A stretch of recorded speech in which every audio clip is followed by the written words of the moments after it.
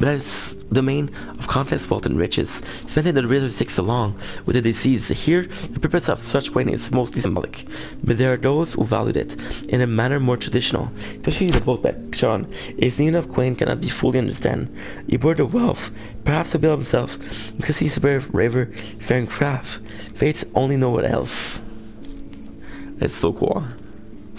For no call, for the master is best known for presiding over his vast realm of death beneath the earth.